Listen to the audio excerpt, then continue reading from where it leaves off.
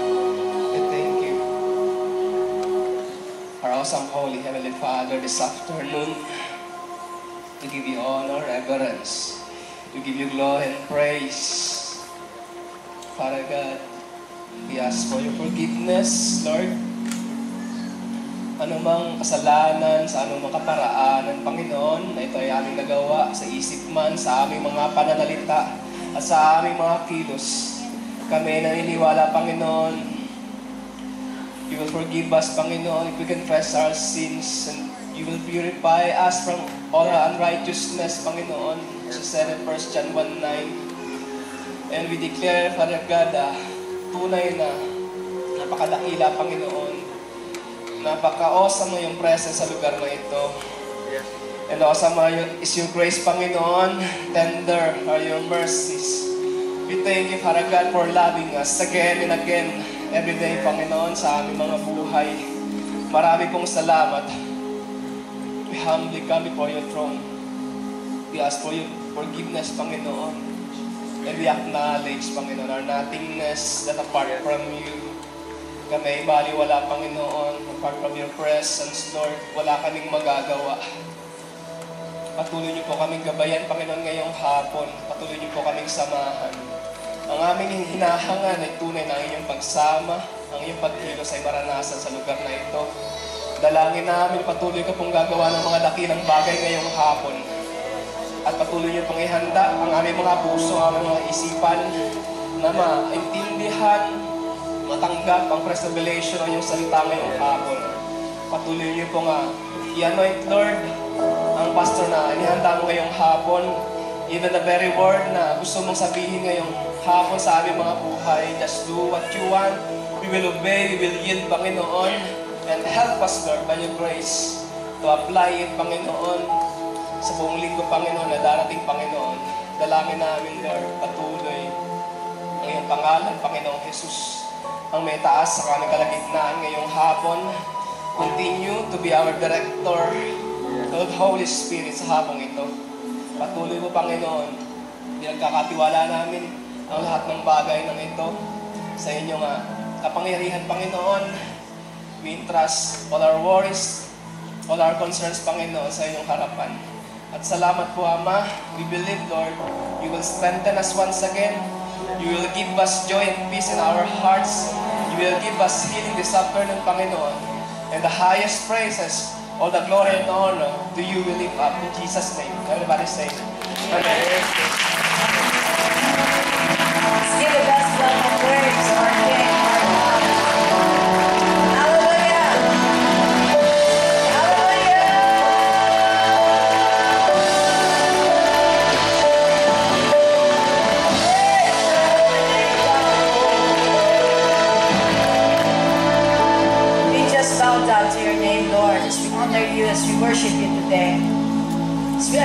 your very presence in our midst, O God. We declare you are the King, you are the Lord, you are the awesome God. We decree and declare your Lordship upon this place, Father, as we call upon your name, as we behold you in the beauty of your holiness.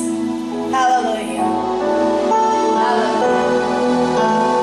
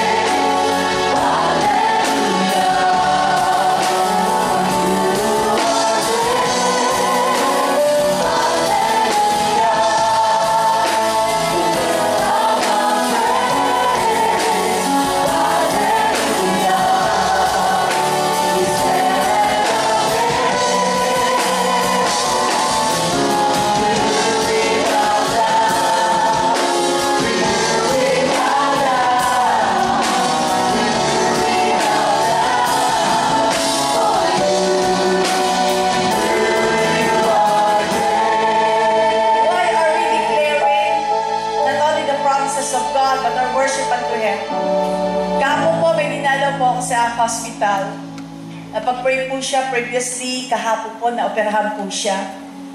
Amazed po ako sa ginawa ng Panginoon sa taong ito. She's 93 years old female. At nagkaroon po siya ng hip replacement na operation at the age of 93. Amazed na amazed po ako sa pagkilos ng Diyos sa kanya dahil nung una ko po siya dinalaw, immovable, hindi po siya nagsasalita. Siguro po natatakot siya at her age, kailangan pa siya operahan. But Friday, she got her operation. Kahapon po, ang daldal, daldal, daldal niya. Kahapon po, salita rin siya ng salita. English pa ho ang salita niya. Sabi niya, please pray for me. Please don't leave me. God bless you. Because you are sent by God. You are the angel. Marami po siya sinasabi. Amazed na amazed po ako. Sabi ko, wow, at 93, kinaya niya yung major operation. At first time po siyang hospital. Sa tanang buhay niya, doon lang po siya hospital. Nanay po siya ng ating isa po sa member po natin dito sa JIL. Kaya sabi ko, Lord, there's no other reason for us not to believe in you. There's no other reason for us not to praise you, not to worship you. Because of the many things that God is doing always, every day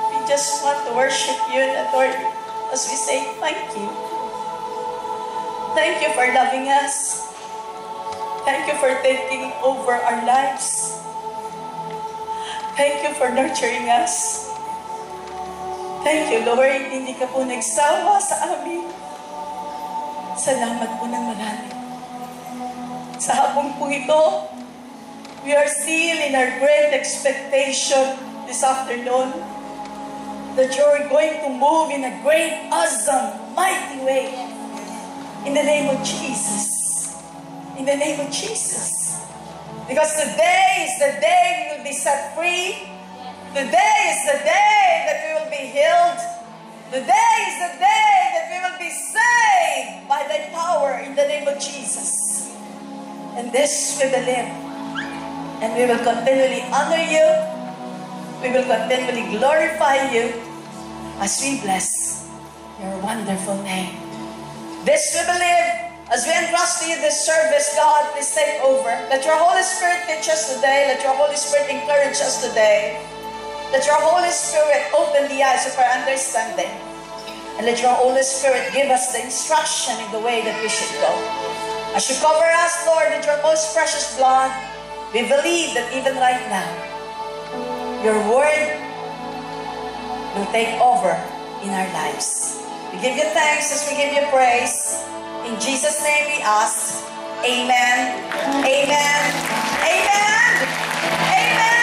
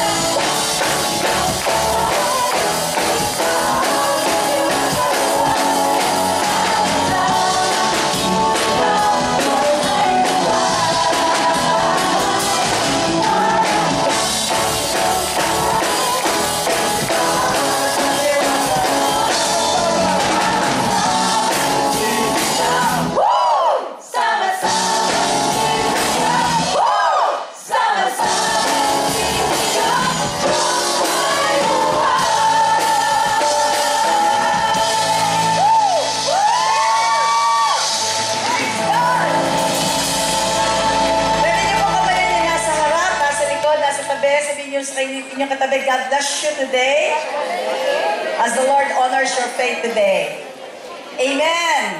Amen. Matili po tayo nakatayo. Please turn your Bible with me. Deuteronomy chapter 28, beginning verse 1 and verse 2, verse 15 and verses 58 up to 59. Samahan niyo po ako sa pagbasa. Sabi po sa Deuteronomy chapter 28, beginning verse 1 and 2, it says here, Now, it shall come to pass if you diligently obey the voice of the Lord your God, to observe carefully all the commandments which I command you today, that the Lord your God will set you high above all nations of the earth. Verse 2 po, pakibasa po. All this blessing shall come upon you overtake you. In verse 15, tingnan po natin, sabayan niyo po sa pagbasa. But it shall come to pass if you do not obey, obey the voice of the Lord your God, to observe carefully all His commandments and His statutes, which I command you today, that all these curses will come upon you and overtake you. Verses 58 to 59. Ano po sila sabi? Basahin po natin ulit. If you do not carefully observe all the words of this law that are written in this book, that you may fear this glorious and awesome name, the Lord your God. Then the Lord will bring upon you and your descendants extraordinary plagues, great and prolonged plagues, and serious and prolonged sickness. In James chapter 3, beginning verse 10, sabayan niyo po ako ulit sa James chapter 3, verse 10, Out of the same mouth proceed blessing and cursing. My brethren, these things ought not to be so. Ang Diyos po magpapala sa kanyang banal na salita, makakaupo na po tayong lahat in the sweet presence of the Holy Spirit of the living God. Palakpakan po natin ang ating Panginoon. Hallelujah! Praise God. Thank you for our anointed uh, worship team.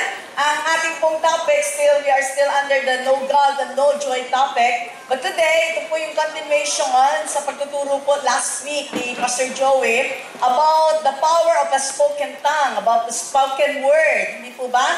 Sino po ang narinito last Sunday? Na napag-alaman po natin na meron pong kapangyarihan ang mga salita na lumalabas po sa atin dahil maliwanag yung sinasabi ng salita ng Diyos, death and uh, death and life is in the power of the tongue. So our topic for today is about blessings versus curses, our dealings with the problem of the tongue. Ito po ay uh, ano po ba yung talaga nagiging problema natin sa ating mga dila. And we should make dealings at paano po natin to may ayos, tunghayan po natin ang sinasabi pong kapahayagan. As we move on, tingnan po natin, sinasabi sa ating introduction, it says here, Deuteronomy chapter 28 is about the listings of blessings and curses given by Moses himself during a covenant renewing ceremony on the place of Moab. Ito po yung pagkakataon na may general instruction po ang Panginoon, especially when the Ten Commandments, the tablets of the Ten Commandments was being handed down to Moses. Nagbigay po ng mga kriteria, nagbigay po ng mga listing ang ating Panginoon kung paano makaka-receive ng pagpapala ang isang mananampalataya at kung sino ang hindi makaka-receive ng mga pagpapala ang sinasabi ng salita ng Panginoon. Sabihin niyo nga sa inyong katabi, handa ka na ba tumanggap ng pagpapala ng Diyos? Pumalakpak na po ang handa. Yun. Praise God. Moses prophesied the consequences of turning away from God. Ito daw po yung mga consequences pagka tayo po ay napalihis ng landas. It says here, chastisement, destruction, great sorrow, captivity, and depression among the nations. So pag sinabing chastisement, may pagpapalo. Pag sinabing distraction, alam na po natin, pagka sinabing distraction, talagang may kaguluhan, meron po mga pangyayari na hindi na po natin naiintindihan, katulad po na nangyayari po sa ating paligid ngayon. Course, merong sorrow, at higit sa lahat, yung ngayon pong nagaganap sa marami po nating mga kababayan, nagkakaroon ng depression, nagkakaroon ng spirit of anxiety because of the stressfulness na nangyayari sa ating kapaligiran. Moving on, tingnan po natin sa ating pong pag-aaral, what are the facts about blessings and curses? Sabihin niyo sa inyong katabi, blessings and curses. Again, ang gusto po natin ay makareceive po tayo ng pagpapalang nagmumula sa ating Panginoon. Tama po ba? Ayaw po natin na tayo po ay masumpa. Gusto po natin na po tayo nakalinya sa ating pagpapala. Pastor Joey had made a declaration that is why tayo po ay laging may breaking of the bread. Lagi po tayong merong constant prayer and communion with each other, especially to our God.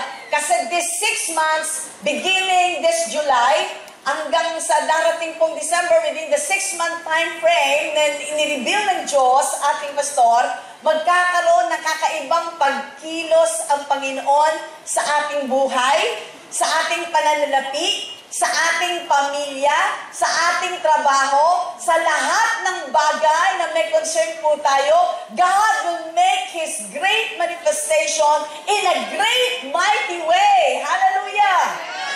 Amen! Naniniwala po ba tayo doon? Amen po?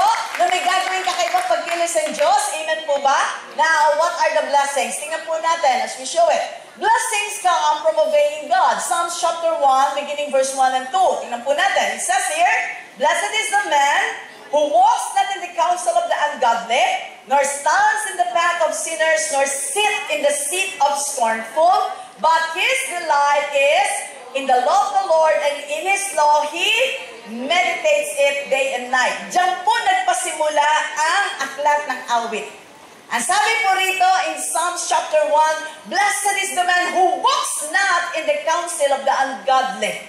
Mapalad, pinagpala ang mga tao na hindi sumasama sa gawa ng mga masasama. Are you with me? Ano pa po sinabi po rito? Kaya sabi po rito, blessings come from obeying God. Sabihin niyo sa inyo katabi, let us obey God that we may receive the blessing.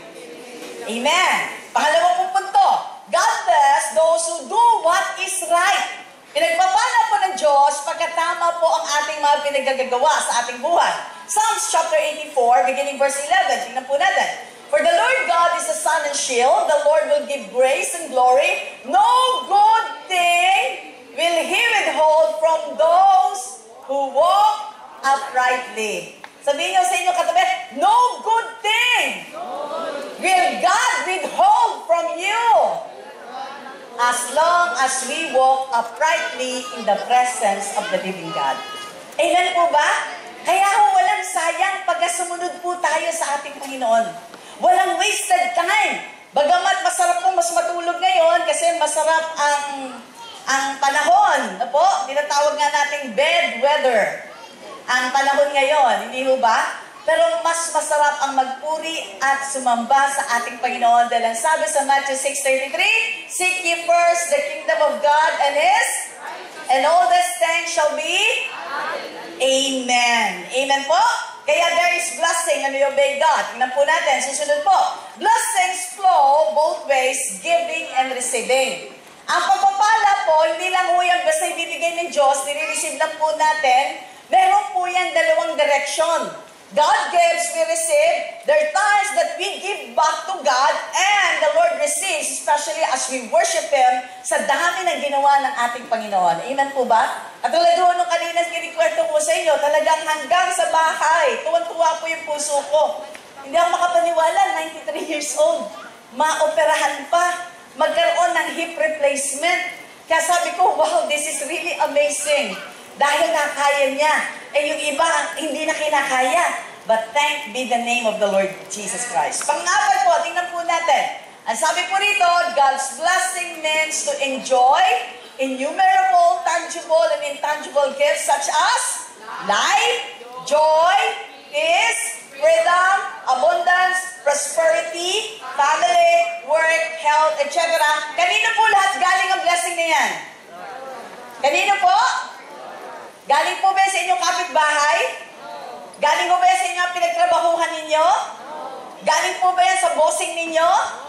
Regalo po ba yan ng inyong mga mahal sa buhay? No. The author of life is none the other less but the Lord Jesus Christ. The Prince of Peace is none other than less but the Lord Jesus Christ. The source of our joy is none other than less but the Lord Jesus Christ. We have freedom when we have received Jesus as our personal Lord and Savior. And we receive abundant favor, prosperity, and we have family that we cherish and work that is being established because these are all coming from the love of God, coming from the Lord God Almighty. Hallelujah!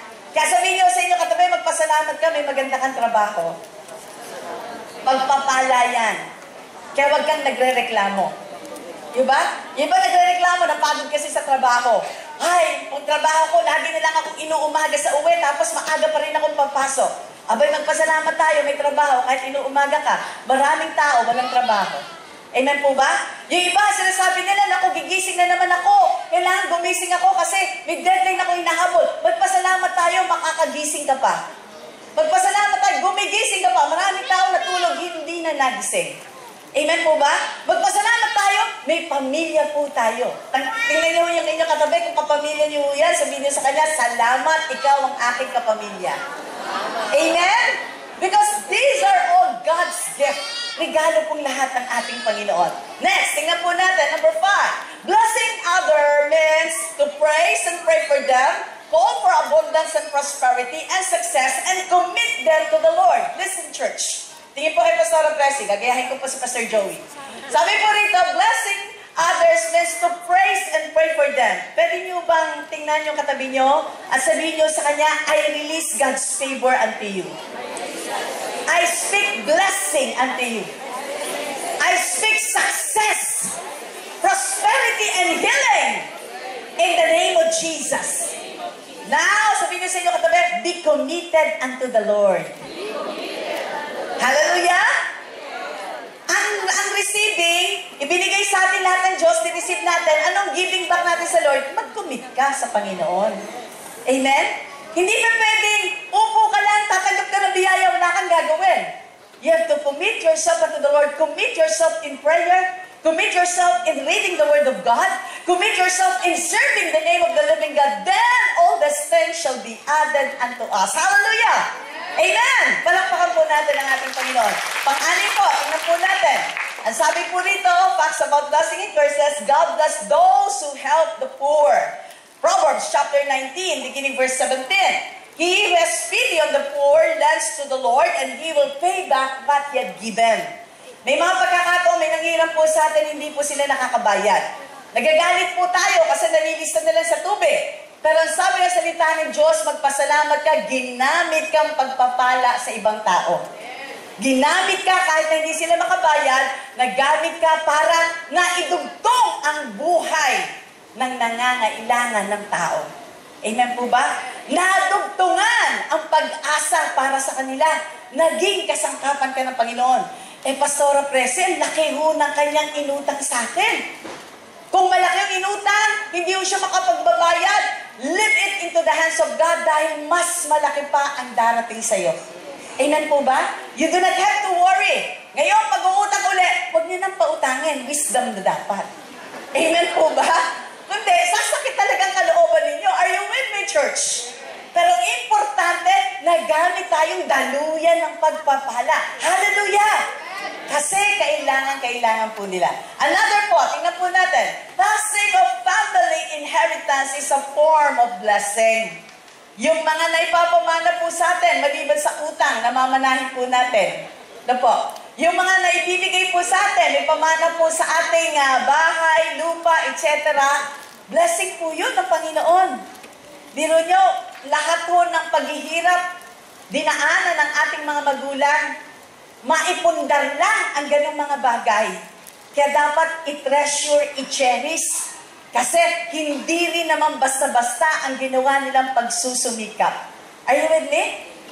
Ang naging puhunan nila, dugo at pawis. Para lang maibigay ang negosyo, maipasa sa atin. Para lang maipasa ang legasiyang maganda nilang sinimulan at pinundar para po sa atin. Are you with me, church? Kaya kinakailangan maunawaan natin, pagpapala to, therefore ingatan natin ang mga pagpapala na ilipat po sa atin. Amen? May isa pong akong kakilala, uh, sa po siyang dating worker po natin, nung namatay po yung kanyang husband, napakalaki po nung inheritance talaga na naiwan po sa kanya. It so happened na napagsamantalahan po siya ng maraming mga tao. Sa sobrang kaibaitan niya po sa maraming mga tao, in other words, naubos po yung lahat ng kanyang namana sa maraming mga pautang. Nung lumapit po siya sa akin, tinatanong niya ako paano niya sisingilin ang lahat ng mga taong ito. Sabi ko sa kanya, ano ba naging usapan ninyo? Meron po siyang pinag-aral, meron siyang pinagamot sa ospital, meron po siyang ah, sinustentuhan, lahat po ng kawang gawa ginawa niya. Sabi ko sa kanya, my dear sister, tama naman yon. Kasi you have this gift of being a cheerful giver. And you have this gift of so compassionate with other people. But, you need to exercise your wisdom. Amen po ba? Hindi ka pwedeng iubos mo lahat. Paano yung mga anak mong nagsisipag-aral na nagkokoleyo that time? Are you with me? Paano sila babalik? At paano kanila matutulungan? May bumalik, may nagsole, pero mas marami ang hindi nagsole. Ang nangyari, sama-sama ang loob niya, lungkot na lungkot siya, nagagalit siya sa maraming mga tao. Sabi ko, choice mo yan, kapatid. Kasi hindi naging tama ang pagiging steward, ang pagiging steward sa mga bagay na pinagkatiwala ng ating Panginoon. Are you with me? Hindi po masamang magkawang gawa. Tama po yun. Gusto ko yun ng Diyos. Yun ang sinabi sa atin. Pagpapala tayo sa kanila. But definitely, wag nating lulusain, especially if family inheritance ang nakataya. Are you with me, church? Pagka-inheritance na binigay po sa atin, gawin po natin itong tama at maayos sa ikaluluwalhati ng ating Panginoon. Pangwalo, pangsyam, tingnan po natin ang sinasabi pa sa salita ng Diyos, blessings can also be for our enemies. Ano sabi sa Matthew 5, 43, verse 45? Tingnan po natin. Basahin po natin. You have heard that it was said, you shall and hate your, but I say to you, love your, bless those, and do good to those, and pray for those, and persecute you that you may be sons of your Father in heaven, for he makes his sun rise on the evil and on the good, and sends rain on the just and on the unjust. Amen po ba? Tama yung sinasabi ng salita ng ating Panginoon. Love your enemies. Eh, Pastora, ilang beses ko po ba siyang mamahalin? The Bible declares 77 times 7. Amen?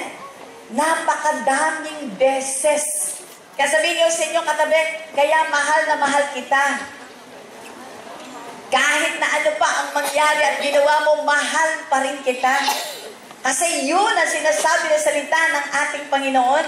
Love our enemies. Love those who persecute us, spitefully use us, pray for them, not curse them. Amen?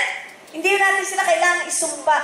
Kailangan lang natin silang pagpalain. Dahil pag pinagpala po tayo, pinagpala po natin sila, hindi yung tatalab yung mga sumpang sinasabi po nila sa atin. Because God has favored us and shielded us from the works of the enemy. Hallelujah! Amen? Romans chapter 12, beginning verse 14. Tingnan po natin. It says here, bless those who persecute you. Bless and bless and see? Bless and do not curse. Nasabihin niyo sa inyo katabi, magbe-bless lang tayo. Kahit galit na galit na tayo. Kahit masama ng loob natin, i-bless pa rin natin, di ba? Kahit na hate na hate mo na, sabihin mo lang, God bless you, God bless you. Are you with me? Kahit ang di ba? Wala ka sasabihin, God bless you pa din. Di ba? Nagmamaneho ko, ganda-ganda ng pagmamaneho ko, bigla may magkakat sa'yo. Sa harapan mo, na nagmumotor, anong sasabihin mo? God bless you. At ingatan ka ng Diyos, hindi ka matamaan ng iba pang sasakyan. Are you with me? Maganda yung pagbibili mo, namimili ka, tapos pagdating mo sa bahay, kinulangan pala yung kinilo sa'yo. Ano sasabihin natin? God bless you. Bahala na ang Diyos sa'yo. Niloko mo ko, God bless you still. Are you with me, church? Kasi yung po ang sinasabi ng salita ng Panginoon. Moving on, tingnan po natin ang nature of the blessings and these curses. Pansinin po natin, next slide please. About the curses, tingnan po natin, it says here, a curse is a negative word spoken in a negative atmosphere which seems stronger at times. Listen, church. It is a negative word spoken in a negative atmosphere which seems stronger at times. Minsan parang mas malakas pa. Paano po nangyayari yon? Pag negative ang atmosphere, anong negative atmosphere? Pag nag-away, nagkaroon ng sigalot, nagkakaroon ng hindi magandang usapan, di ba? Nakikita po natin sa mga pahayagan, nakikita po natin sa mga news. Nung una, nagkakasiyahan. Ang saya-saya nila sa birthday party. Nag-ending, nagsaksakan. Are you with me? Bakit? Eh kasi nagkaroon ng negative atmosphere. Naalala niya yung ginawa sa kanya. Kaya sabi niya, Hoy, naalala ko yung ginawa mo sa akin. Kala mo ba nakalimutan ko ba? Naglita niya. Yung isa naman, binibiro lang siya. Eh, totoo na doon sa isa. Hanggang sa nagpalitan ng negative words, nagpalitan ng bad words, nagpalitan ng masasakit na salita. Hanggang nag-ending sa hindi maganda. Are you with me? Pangalawa mong bagay, tingnan po natin. It says here, swearing or cursing uses blasphemous, profane, or vulgar language. It's true. Di ba?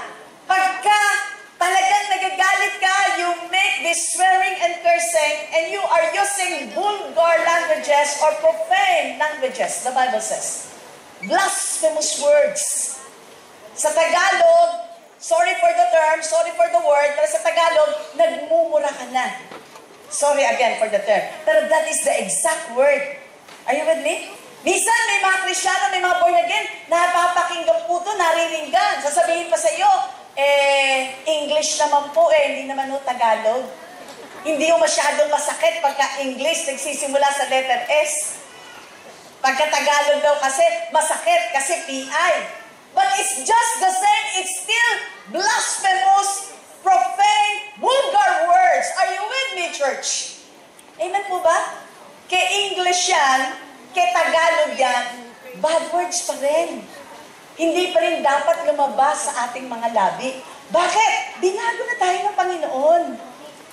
Hindi na tayo ito.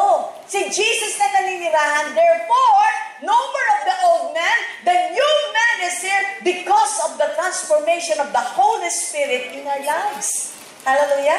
Pangatlo po, tingnan po natin. Cursing is ungodly and immoral coming from an. Listen. Cursing is ungodly and immoral coming from an evil heart.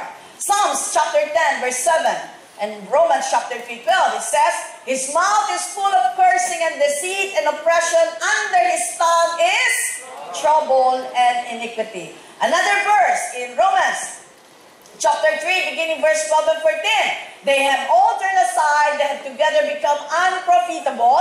There is none who does good, no, not one. Their throat is an open tomb. With their tongues they have practiced deceit, and the poison of asp is under their lips, whose mouth is full of cursing and bitterness. Listen, church. Kaya ka pala nagkikurse kasi bitter ka. Hindi ka lang angry. Hindi ka lang puno ng hatred. Hindi ka lang puno ng madness. And that is evil in the sight of God. And everything that is evil is not coming from the Lord. Are you with me, church? Now, because of that bitterness, ano ang reaction? To curse. Amen? Gagawa ng hindi maganda ang ating mga dila, ang ating mga labi na nakapagsalita ng hindi maganda sa maraming mga tao.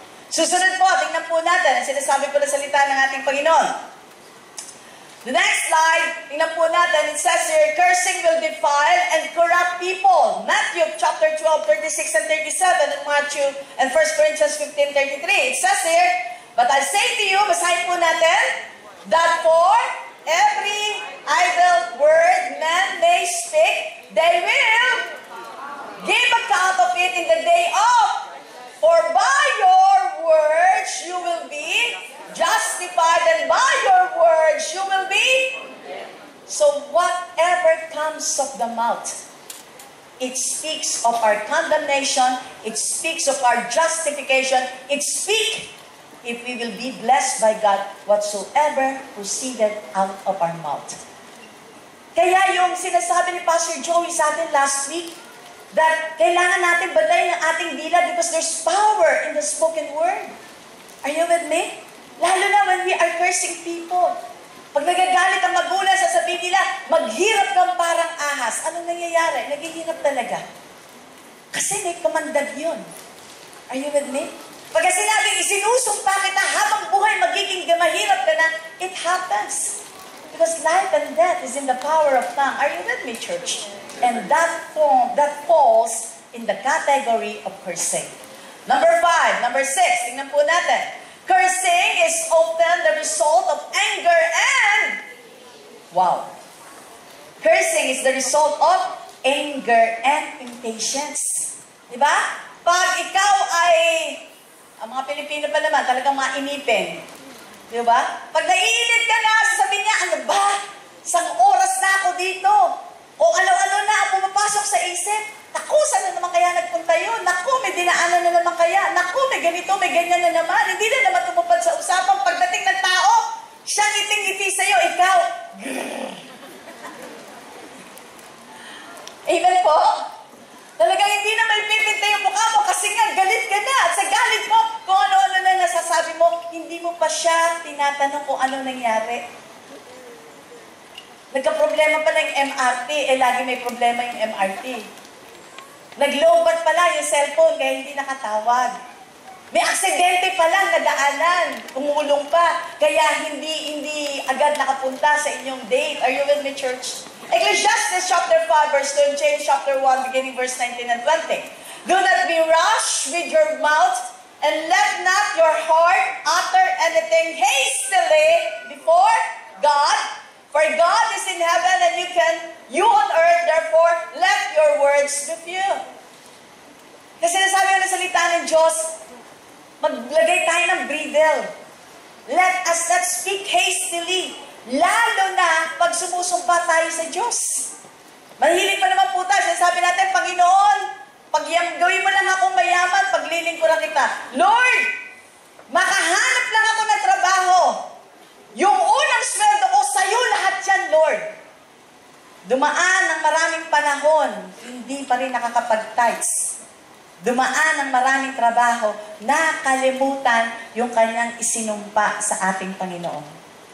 Are you with me? Tapos nung nawala ng trabaho, galit sa Diyos. Nung natanggal sa trabaho, ang sinasinisisi ang Panginoon. Eh sino ba ang nag-commit ng vow? Sino ba ang nagsabi ng mga ganitong bagay? Are you with me, church? Kaya because of anger and impatience. Ano pa po ang mga sumunod na talata? Tingnan po natin. In James chapter 1, 19, verse 20, it says, So then, my beloved brethren, let every man be swift to, slow to, slow to, for the wrath of man does not produce the righteousness of God. See? Kaya sabihin niya sa inyo katabi, huwag kang laging galit. At kang laging nagagalit. Are you with me, church? Kasi minsan, uh, of course, we have these emotions eh. May outbursts of anger talaga tayo at times, di ba? Lalo na pagka ang dami mong pagod sa opisina, daming deadline na imi-meet, tapos pagdating mo sa bahay, hindi pa nakaluto, wala ka pang pagkain. Pagdating mo sa bahay, ang gulo-gulo, gusto mo magpahinga. So, these are all factors. At dahil po doon, nagagalit ka, nakakapagsalita ka ng hindi maganda. Pero yun ang sinasabi ng salita ng Diyos, let us slow to speak, slow to commit these things as we just allow God to make everything smooth for the righteousness of God be produced in our heart. Amen? Next slide.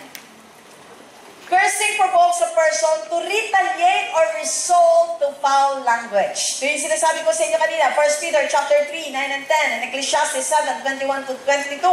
Not returning evil for evil or reviling for reviling, but on the contrary, blessing, knowing that you were called to this, that you may inherit a blessing.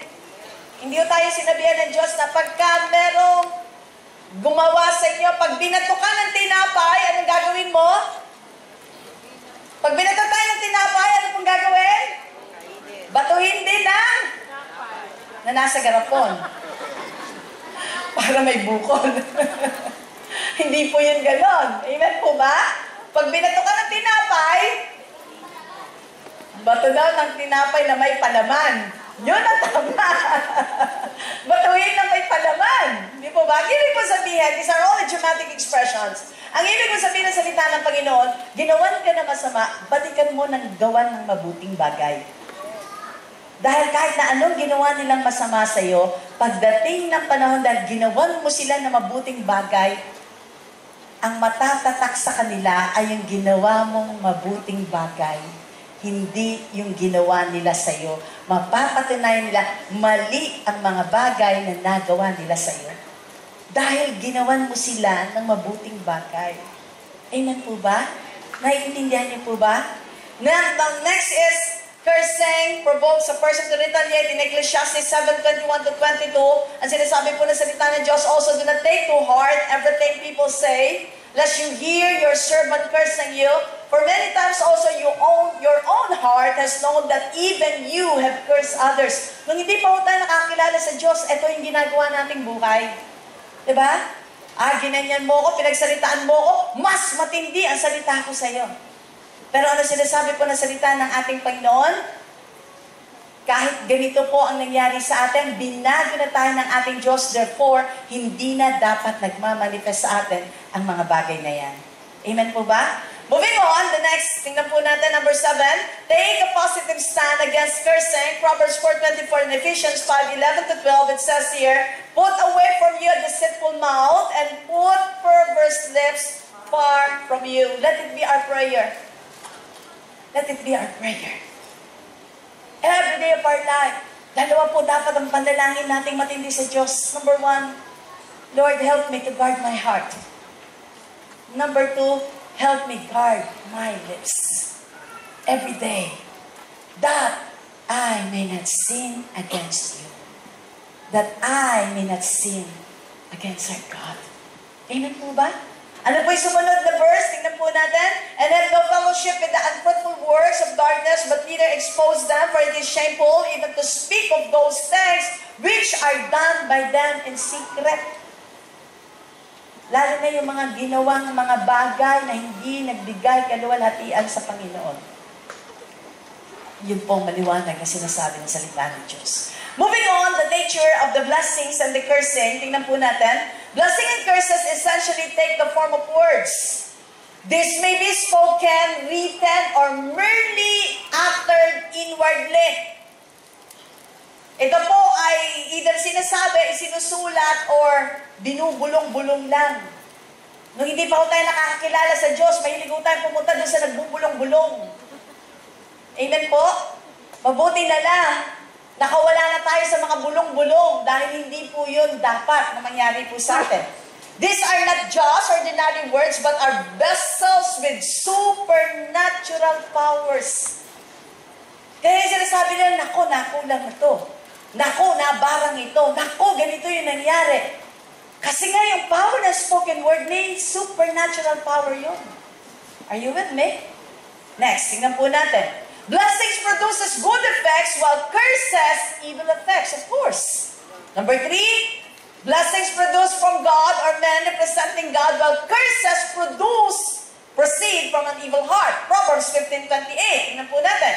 The heart of the righteous studies how to answer, but the mouth of the wicked pours out evil, pours forth evil. Diba? An evil person, wala siyang gagawin kundi puro wickedness. Bakit? Hindi niya kasi kilala si Jesus. Walang relasyon sa ating Panginoon. Yun nga, may relasyon ng tama sa ating Panginoon, nagkakaproon pa na tayo ng problema eh. E di lalo na pag wala sa ating Diyos na buhay. Amen po ba? Next, tingnan po natin sinang- sa ating pag-aaral. It says here, Once released, both blessings and curses tend to continue on through time until they are revoked.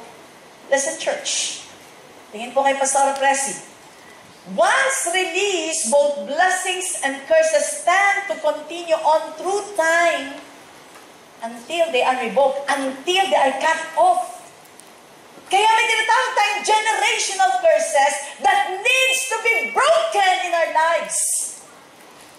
Dadaanan natin mamaya kung ano yung mga generational curses na yon na dumaloy po sa atin, kailangan ma-revoke at kailangan para blessing ang dumalay po sa atin.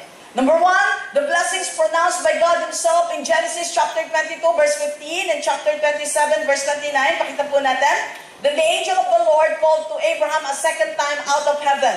Ito po yung pagkakataon, nag-release ng pagpapalang Panginoon kay Abraham. Din po natin in verse 16. Ang sabi po sa verse 16 of Genesis 22, And said, By myself I have sworn, says the Lord, because you have done this thing and have not withheld your son, your only son. Therefore, blessing I will bless you, and multiplying I will multiply your descendants as the stars of the heaven, and as the sand which on the seashore, and your descendants shall possess the gates of their enemy. Verse 18, In your seed, all the nations of the earth shall be blessed because you have obeyed my voice.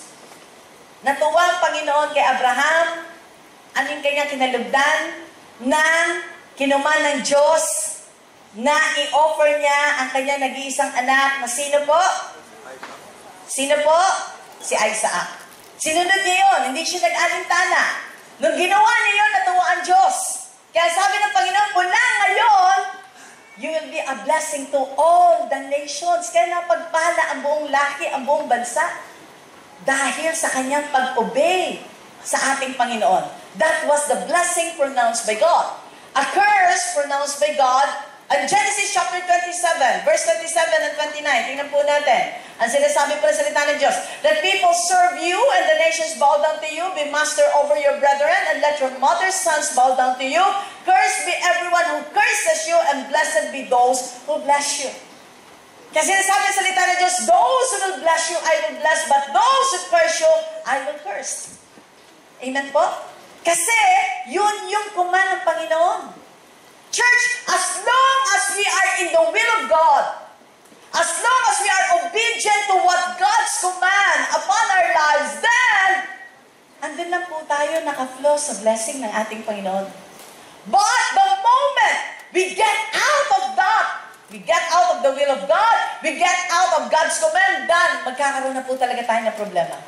Next example is a curse pronounced by God in Genesis 27, 28, and 29, and Mark 11, 20 to 21. Tingnan po natin. Therefore may God give you of the dew of heaven, of the fatness of the earth, and plenty of grain and wine, that people serve you, and the nations bow down to you. Be master over them, your brethren, that your mother's sons have bowed down to you, and cursed be everyone who curse you, and blessed be those who bless you. Ang sumunod pong talata, tingnan po natin, Mark 11, 20, 21. Basahin po natin. Now, pass by to show the people I come from their remembrance into it. Rabbi, nagugutom po ang Panginoong Yesus. Dumaan siya sa puno ng igos. Wala siyang makain. Kasi walang bunga yung igos. Kaya sabi niya, mula ngayon matutuyo ka na, hindi ka na mamumunga. Bumalik po sila uli, nadaanan po nila uli yung fig tree. Sabi ho nung mga apostol, ng mga disciple, Lord, tingnan mo, oh, yung sinumpa mong fig tree. Totoo yung nangyari, natuyuan, hindi na namunga. See? Spoken word again. Tumingnan po natin susunod. A curse pronounced by men representing God. Joshua 6.26 and 1 Kings 16.34. Natin. Then Joshua charged them at that time, saying, Cursed be the man before the Lord who rises up and builds the city Jericho. He shall lay its foundation with his firstborn, and with his youngest he shall set up his gates. Nung nalusog po nila yung Jericho at bumagsak po ang Jericho, ibinigay ng Panginoon sa kamay nila Joshua, ang sabi niya, sumpain ang mga tao na magbabalak, magpaplanong i-rebuild, itayo uli ito. At sino mang gagawa ng kanyang pundasyon kasama ang kanyang panganay at kasama ang kanyang bunso na magse-set up ng gates, may kasamang sumpa. Ano pong manifestation? Tingnan po natin sa next uh, verse. 1 Kings chapter 16, 34.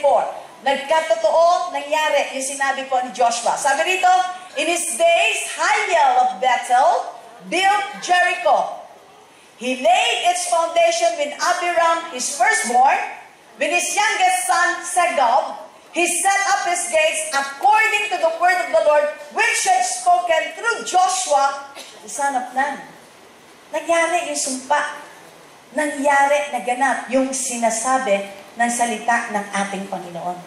Kasi naideklara ni Joshua. Nangyari hindi yun. Are you with me? Moving on. Ano pa ba ang example natin? Curse pronounced by man to another man. Genesis 31 verses 30 to 32 and 35 verses uh, verses 16 to 19. Let's show it please. Pakibasa po. And now,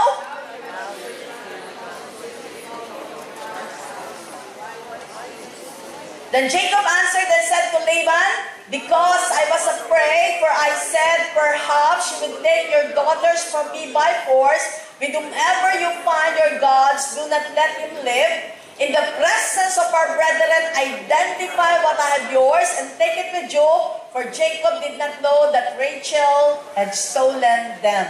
Ito yung pagkakataon na umalis na po si Jacob doon po sa kanya, sa puder ng kanyang father-in-law na si Laban or si Laban. Hinabol ho sila ngayon ng kanyang father-in-law. Kasi sabi niya, pinalaya ko na kayo, pinaalis ko na kayo ng maayos, pinagpala ko kayo, bakit niyo naman ninakaw yung aking mga Diyos-Diyosan? Hindi alam nitong si Jacob na si Rachel kinuha yung kanyang mga Diyos-Diyosan inilagay doon sa kanyang kinauupuan. Kaya sinasabi ngayon itong si Jacob, sige, search everything. Kung meron kang makikita na kumuha yan, mamamatay siya. or patayin mo siya. Kung may makikita kang kumuha na sinasabi mong Diyos-Diyosan. So, hinanap. Eh, walang nakita. Pagdating kay Rachel, nakaupo po siya sa kanyang kama, nandoon sa ilalim. Yung mga Diyos-Diyosan, ano sinabi ni Rachel? Pasensya na po, ama kong mahal. Hindi po ako pwedeng tumayo because it is my monthly period. Sorry for the term. Pero yun po yung sinasabi ng salita ni Diyos. Kaya hindi siya na-search. Kaya sabi niya, ni, ni, ni, ni Jacob, kita mo, wala naman nagnakaw.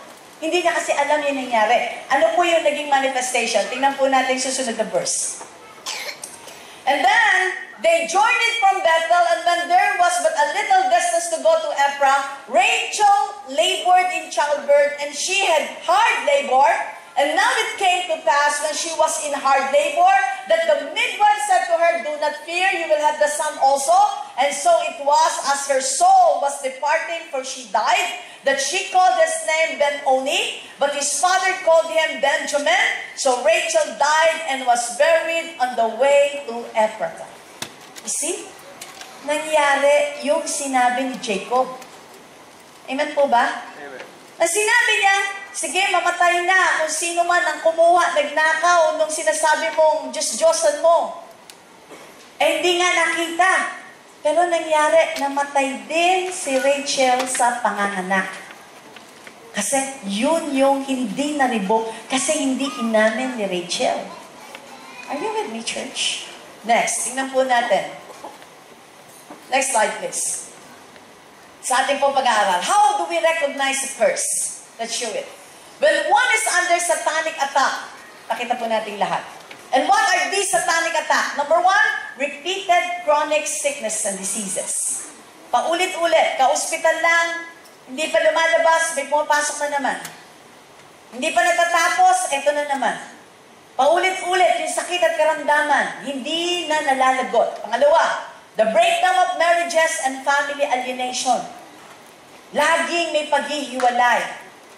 Laging may hindi pagkakasag, pagkakasunduan. Laging nagkakaroon ng problema. Being accident prone.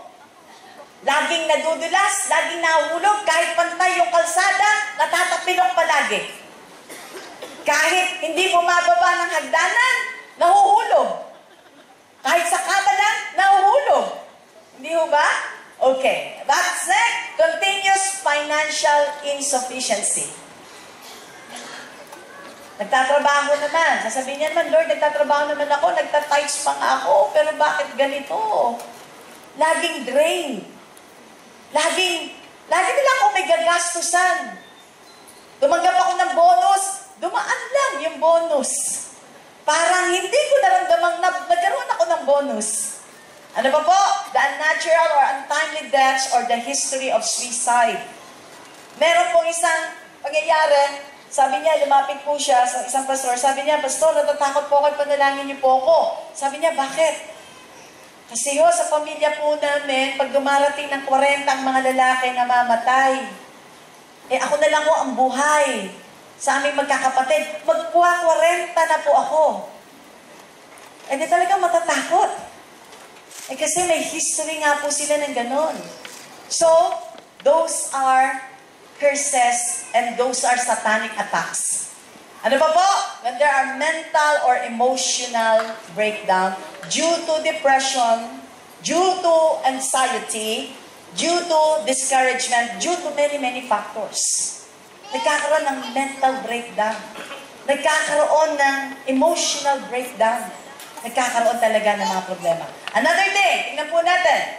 When attacked by demonic powers by those engaged in occultism such as witch doctors, wizards, mediums, or sorcerers.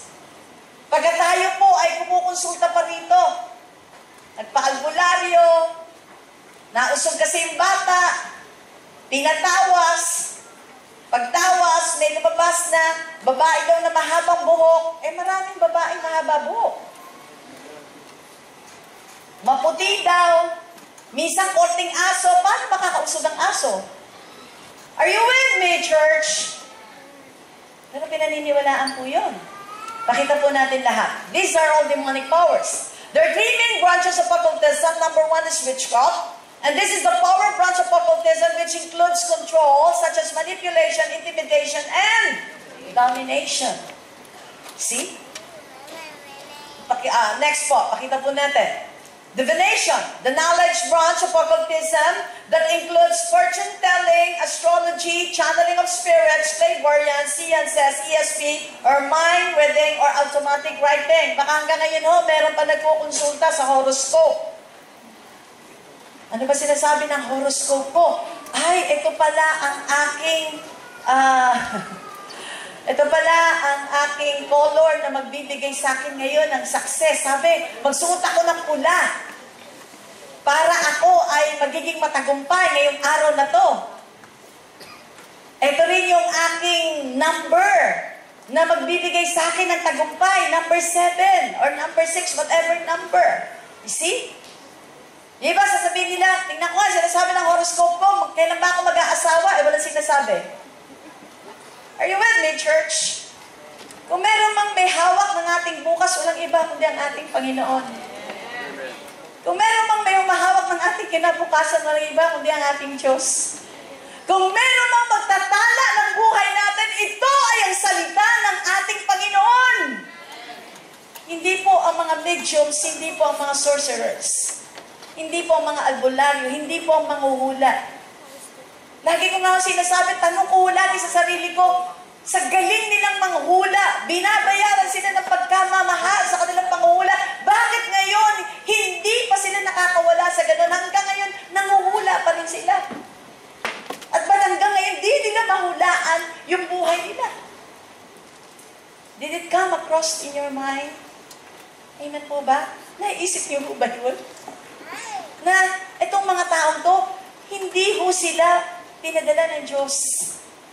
Are you with me? Channeling of Spirit. ESP. Ano pa po? Tingnan po natin. After divination is sorcery. And sorcery operates through material objects or impacting the physical senses through drugs or music. It includes hallucinogenic drugs, heavy metal rock music, the use of amulets or charms, and the playing of Ouija boards and the like. Pagka tayo po yung lagi nakikinig sa mga rock music, lalo na kung heavy metal, may spirit po yan. One time po, ginawa po yan ng ating mga music team. Nag-back, ang tawag doon? Backmasking. Nung uso pa ho yung mga tape. Hindi na uso yung tape. Nung uso pa ho yung mga tape. Lalo na yung kina Led Zeppelin, yung mga Stairway to Heaven. Ano po yung mga kanta mga panahon yan? Ha? Hotel California ng Eagles. Ano pa ba?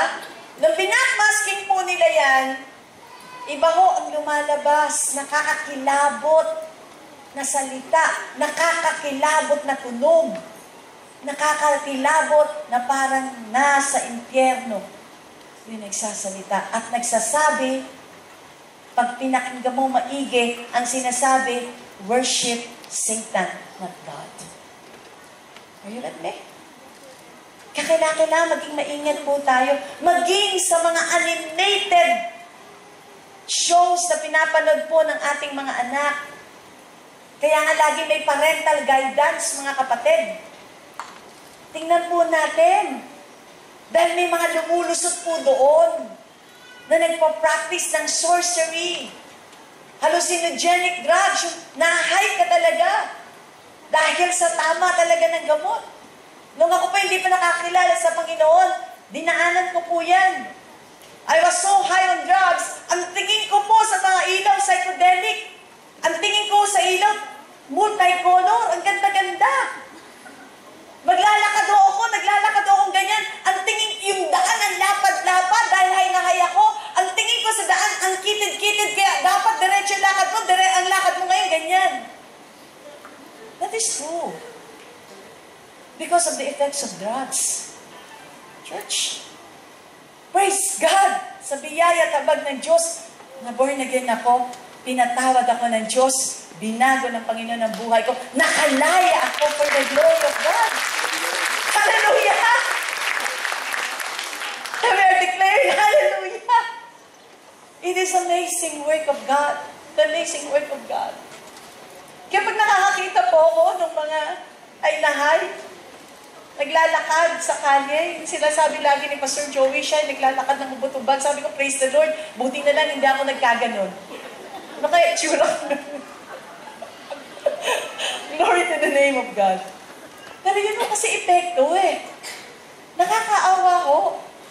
Kaya talaga sasabihin mo, Lord, salamat.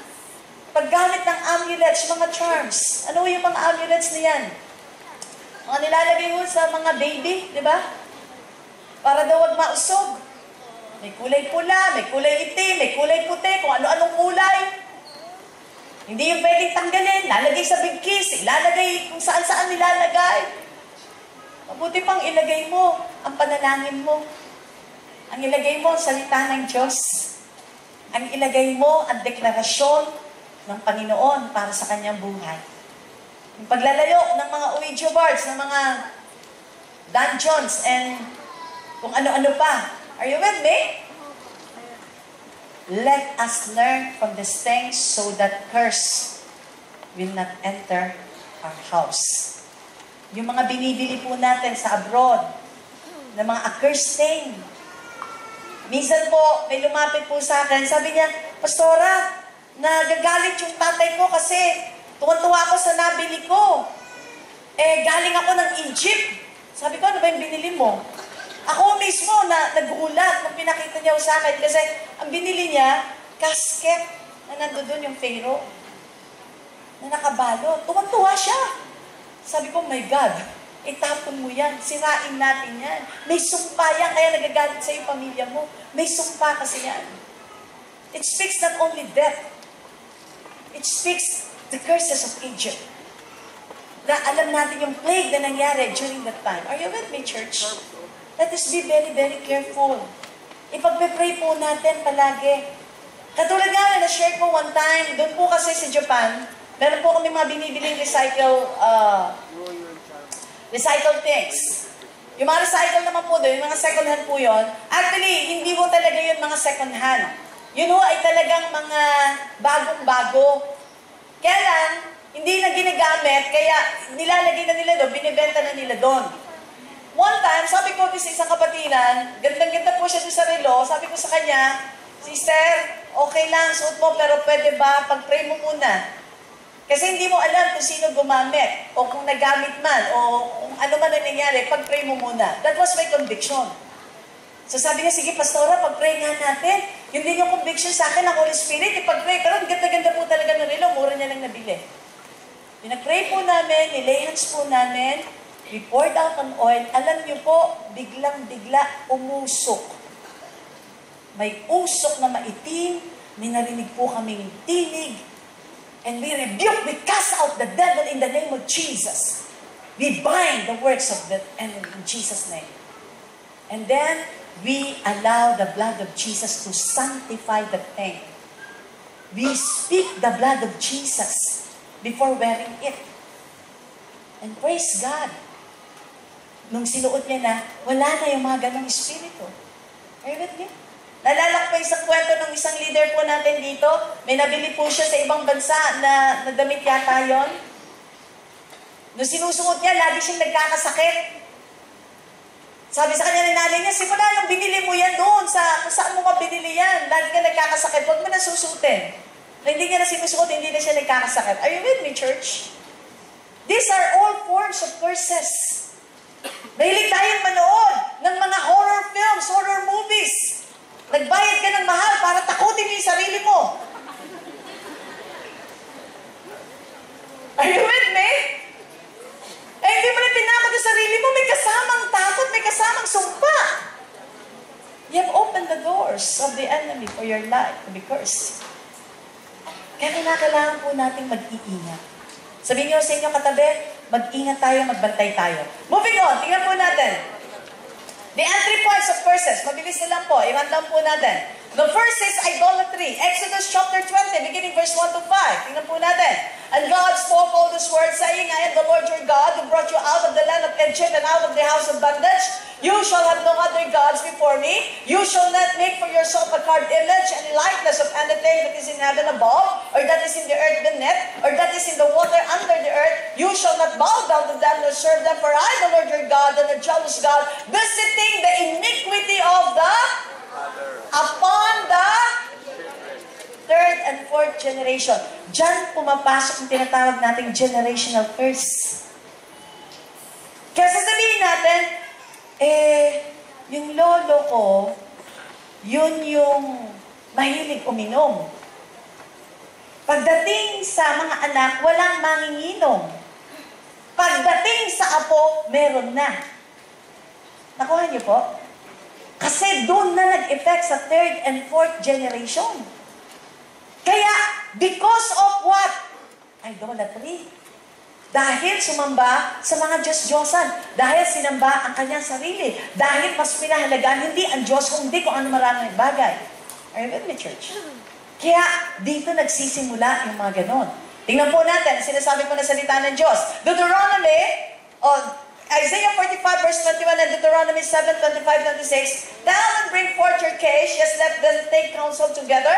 Who has declared this from ancient time, who has told them from that time, have not I, the Lord, and there is no besides me a just God and a there is none. There's no other God but Jesus. There's no other just God and Savior but Jesus. Kaya nang nabayubay siya sa krus ng Kalbaryo, dinala niya lahat ang mga sumpang yan sa krus ng Kalbaryo. Kinakailangan lang natin pagsisihan, lumapit sa Diyos, buksan ang ating mga puso. Ano ba sinabi sa Deuteronomy? Chapter 7. Tingnan po natin. You shall burn the carved images of their gods with fire. You shall not covet the silver or gold that is on them, nor take it for yourselves, lest you be snared by it, for it is an abomination to the Lord your God. Nor shall you bring an abomination into your house, lest you be doomed to destruction like it. You shall utterly detest it and utterly abhor it, for it is a cursed thing. Ang sinasabi ng salita ng Diyos, hindi lang alasin, basagin, wasakin, sirain in the name of the Lord Jesus Christ of Nazareth. Alisin sa loob ng bahay. Amen? Those artifacts. Tingnan po natin ang susunod. Biblisa ko na po. The next entry point, of course, that we use God's name in vain or profanity. The Bible says, let us not use the name of God in any situation.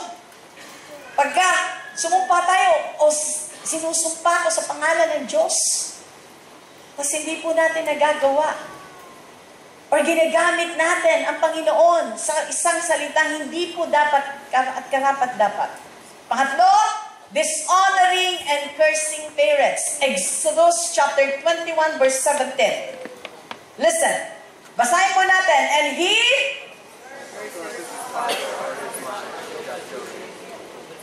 Mabigat, hindi po ba? Ang sabi nga ng salita ng Diyos, He who curses his father or mother shall surely be put to death. Dapat ang minamahal natin ang ating mga magulang. Pastora Presi, hindi mo kasi alam kung anong dinaanan ko sa mga magulang ko. Kahit na ano ang dinaanan natin. Ang kumanho ng Diyos, obey them. Ang kuman ng Diyos, bless them. Ang kuman ng Diyos, respect them. Ang kuman ng Diyos, sumunod po tayo sa kanila. Para magkaroon tayo ng mahabang buhay. Yan ho ang sinasabi ng salita ng ating Panginoon. Amen po ba? Tingnan po natin susunod na talata. Ang sabi po rito in Ephesians chapter 6 verse 1 to 3, Children, obey your parents in the Lord for this is right. Honor your father and mother, which is the first commandment with the promise that it may be well with you and you may live long on the earth. Kung katabi niyo po ang inyong magulang, pwede niyo ba tapikin? Sabihin niyo lang po sa kanya, I release to you blessings. I release to you long, satisfied life. I release to you favor of God and the excellency of health. In the name of Jesus. In the name of Jesus. Amen? Palakpakan po natin ang ating Panginoon. Next is the soul tie. It includes illicit or unnatural sex such as fornication, incest, adultery, and homosexuality. And soul tie is the tying of souls in the soul realm, of course. Nangyayari po ito sa mga hindi pa nakakasal. Nagkaroon ng premarital sex.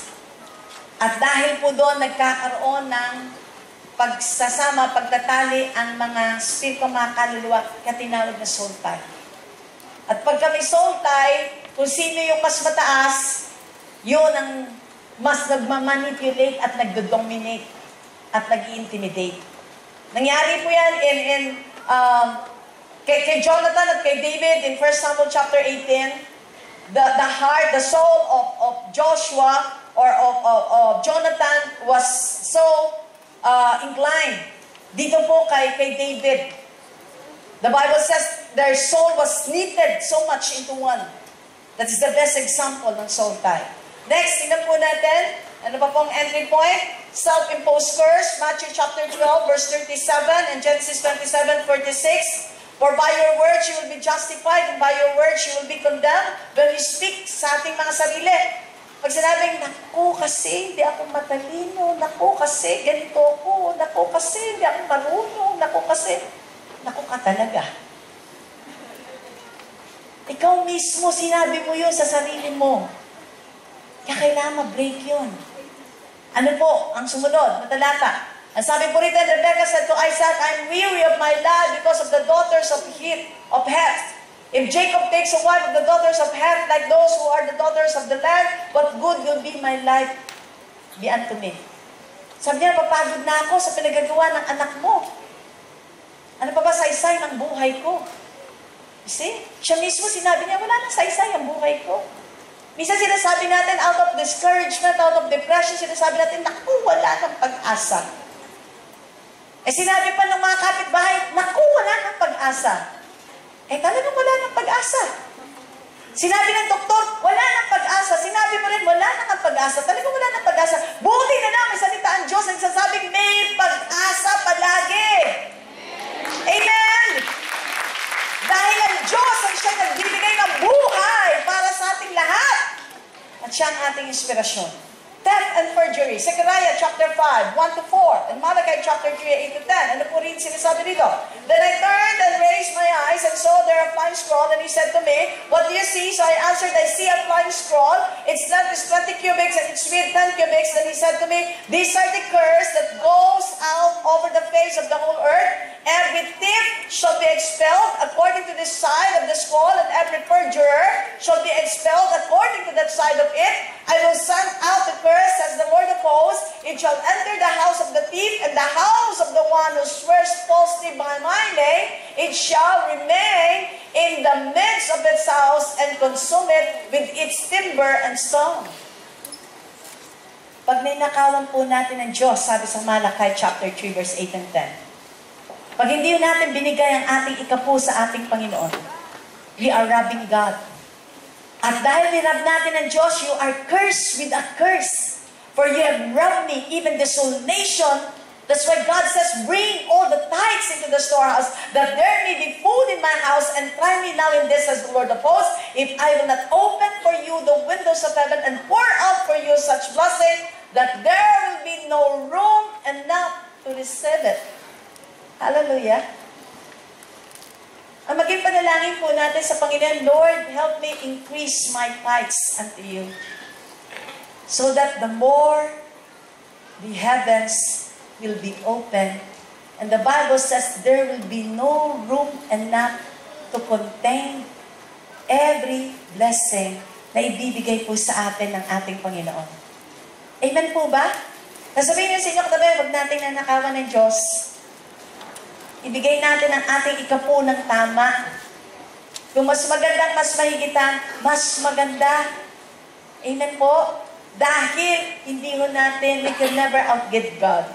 Trusting in man, the next, Jeremiah 17, 5 to 6. Ang sabi po rito, Thus says the Lord, curses the man who trusts in man and makes flesh his strength, whose heart departs from the Lord, for he shall be like shrub in the desert, and shall not see even good cows, but shall inhabit the parched places in the wilderness. in a salt land which is not inhabited. Ang tiwala po natin, hindi sa ating lakas, ang tiwala po natin ay dapat nasa Panginoon. Ang tiwala po natin ay hindi dapat sa mga tao, ang tiwala po natin ay dapat sa ating Diyos na buhay. Dahil the more na magtitiwala tayo sa tao, it will fail. Because man always fail. But Jesus never, never fails. Therefore, sabihin natin sa ating katabi, just trust God for everything. And of course, the curses from unscriptural covenants such as secret society. Yung mga pumapasok sa mga fraternity. Tulad ng sinabi ko, buti na lang, nung college po ako, meron po akong fraternity. Frating late at frating absent. Fratering gutom. Kaya laging recess ako. Kasi mahirap po tayo pumasok sa ganyan. These are unscriptural covenants. Tapos pag pumasok ka, mag-hazing ka, napatay ka tuloy. Tapos magagalit sa iyo ang mga magulang mo. Are you with me, church? Ito po ay mga sumpa, entry points. Next, tingnan po natin, paano po tayo makakawala? How are we going to receive? There are five R's. Let's run it down. Number one, let us recognize that we are all sinners and we need a Savior. Romans chapter 3, 23, For all have fall short of the glory of God because all have sinned.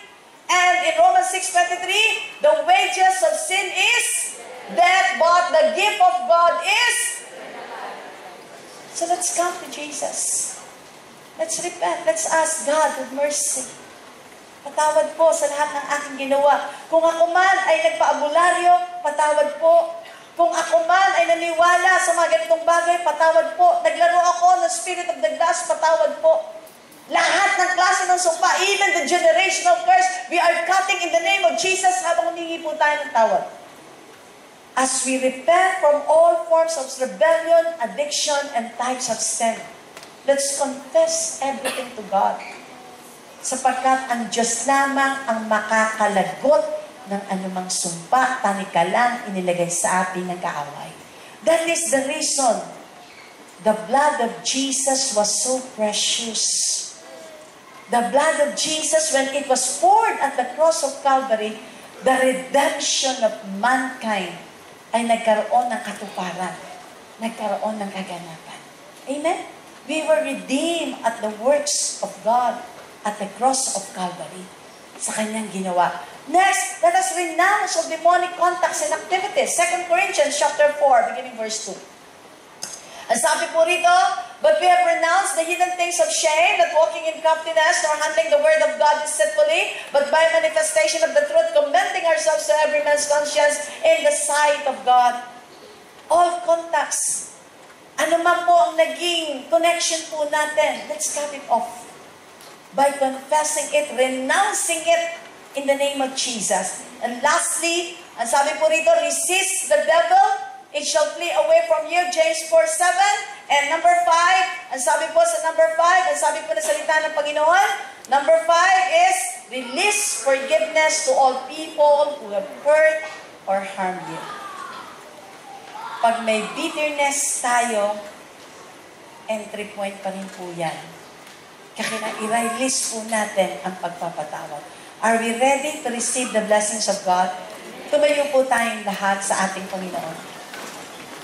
Let us lift up our hands to the Lord right now. Sumunod po ang lahat sa panalangin ito.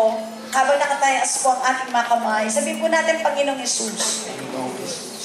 nais ko pong lumaya sa araw na ito. Nais ko pong lumaya sa araw. Nais ko pong matanggap ang iyong pagpapalat himala. Nais ko pong Sa matanggap ang aking buhay. pagpapalat himala sa aking buhay. Kaya po sa hapon pong ito, Kaya po sa hapong ito, na ako po'y nagpapakumbaba at lumalapit. ako po'y nagpapakumbaba at lumalapit. Humingi po ako ng iyong pagpapatawad Humingi po ako ng iyong pagpapatawad sa lahat ng aking nagawang kasalanan. sa lahat ng aking nagawang kasalanan Pasimula sa pagkabata simula pagkabata hanggang sa kasalukuyan. hanggang sa kasalukuyan. Linisin niyo po ako ng iyong banal na dugo. Isin niyo po ako ng iyong banal. Ano man po ang aking naging koneksyon Ano man pong aking naging in connection the dark world, in the dark world, in the spirit world, in the spirit world, in the name of Jesus. in the name of Jesus, I am renouncing it right now. I am renouncing In right Jesus' name. in Jesus' name. as I ask you to forgive me As I ask you to forgive me from all forms of sin. of all forms of sin. Now begin to confess every sin, every iniquity. Tell to Jesus. Ask God to forgive us from idolatry. Ask God to forgive us from robbing Him. Ask God if we committed soul tie. Let us ask God to forgive us from any unscriptural covenants. Let us ask God right now in the name of Jesus to release us from every form of curse. If we have spoke curse to our body, to ourselves, to our being, let us cut it right now in Jesus' name. And ask God to forgive us. Panginoon, sa apanin pong paglapit sa iyo, nilulod po namin ang aming mga buhay. Kailangan po namin, Panginoon, ang himala mo harap po sa amin. Alam po namin namatay ka para sa amin na buhay na magbuli upang kami magkaroon ng kalayaan, kaligtasan. And Lord, as we ask for your mercy and your grace today, as we are confessing every sin, iniquity, and transgression, even, Lord God, na mga naman na namin mula sa aming mga ninuno sa pangalan ng Panginoong Yesus, we are renouncing them as we are confessing them. In the name of Jesus. In the name of Jesus.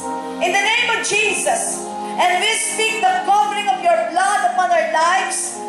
We speak the covering of the blood of, the, of Jesus upon our family. Even upon our inheritance as we renounce every curse of the enemy. We renounce every generational curse. We renounce in the name of Jesus every work of darkness in the name of Jesus. In the name of Jesus, we break right now in Jesus Christ's name any occultic activities in our lives in the mighty name of Jesus. We cancel them all in Jesus Christ's name. And as we break it, Father, in the name of Jesus, right now, let your blood, let your blood, let your blood, let your blood, let the blood of Jesus release us right now. Release us right now from all the curses. Release diseases. Release our family from any insufficiency in our finances. Release our family from poverty in the name of Jesus. Release our family from spiritual bankruptcy in the name of Jesus.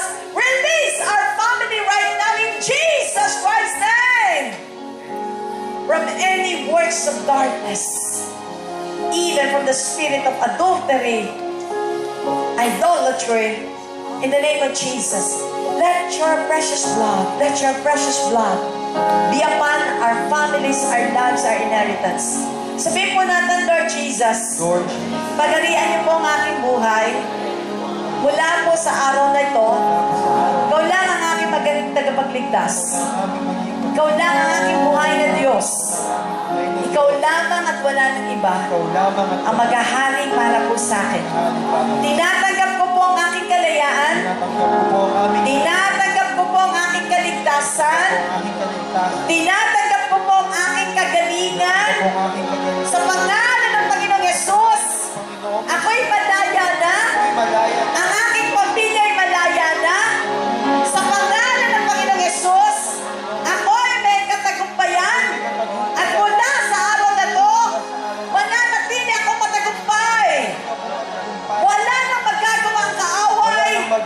Sapagkat sa pangalan ng Panginoong Yesus, sa pangalan ng dinurog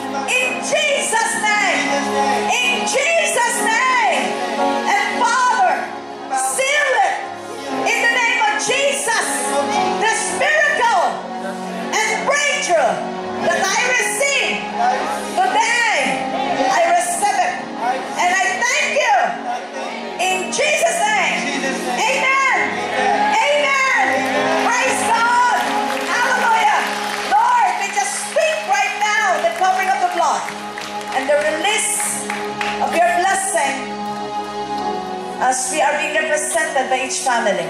We give you thanks as we give you praise. This we ask in Jesus' name. Amen. Hallelujah. To God be the glory. Hallelujah.